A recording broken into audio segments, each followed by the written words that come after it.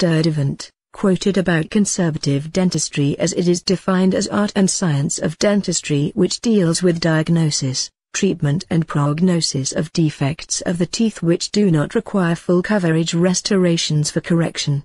Such corrections and restorations results in proper restoration of tooth form, function and aesthetics while maintaining the physiological integrity of the teeth in harmonious relationship with the adjacent hard and soft tissues.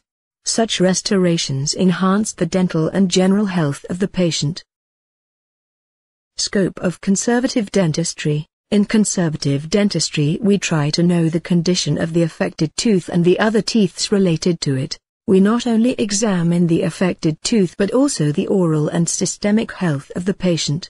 In conservative dentistry we try to diagnose the dental problem and the interaction of problem area with other tissues.